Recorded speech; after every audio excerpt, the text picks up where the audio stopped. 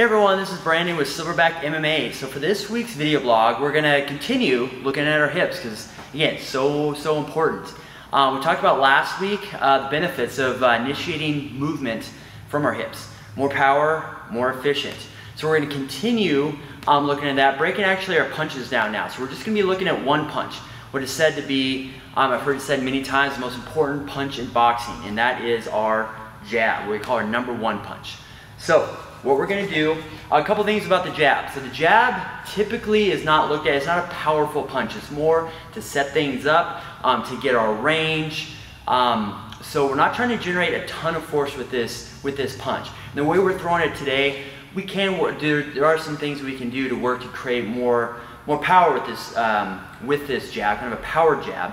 We're not gonna be doing that as much. We're gonna generate as much power as we can with doing two things with maintaining our stance and maintaining our balance.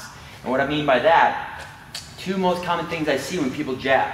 If I'm here jabbing this bag, is I leave my back, my right foot here, planted. I extend my leg, and I throw my jab. So again, I wouldn't say that's wrong. The downside to it though is that I'm extended. Now especially outside of boxing, for kickboxing, Muay Thai, MMA, I'm getting really spread out and there's a lot of um, there's a lot of downside to this. I can't move as well. I can't kick as well. I can't check kicks as well. My head is getting lower um, if a kick or a knee or something like that is coming. So what we want to do is if I move my front foot, my back foot is going to come the same distance so I can maintain my stance. Okay? So again, not this. I want to bring both feet in. The second thing I want to do when I jab is I want to maintain my, my weight, my, uh, my balance more. So I say that kind of my stance, not getting wide. My balance is going to be shifting my weight really far forward. So again, that second thing a lot of times happens is people, they lean forward on that jab.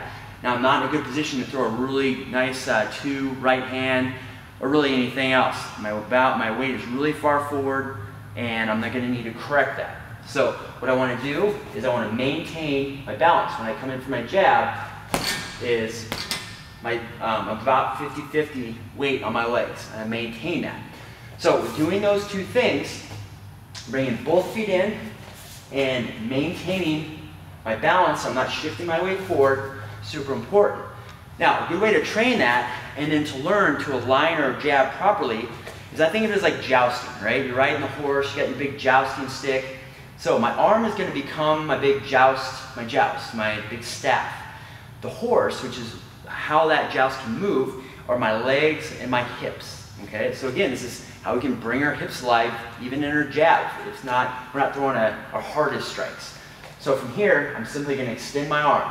And my elbow needs to stay locked, my wrist needs to stay locked, my shoulder stays locked, and they need to work on being very aligned so I'm hitting on the right spot of my hand.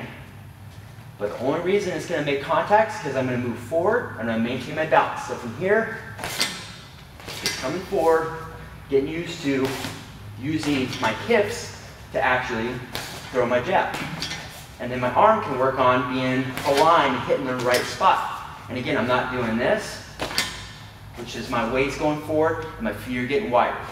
My feet maintain the same distance from when they left, and my weight also maintains that about 50-50 balance um, between. So Try that drill out. I think it's a great way, again, to learn to throw a proper jab, to use our hips, to keep in a good stance, and to keep our balance when we're throwing that jab.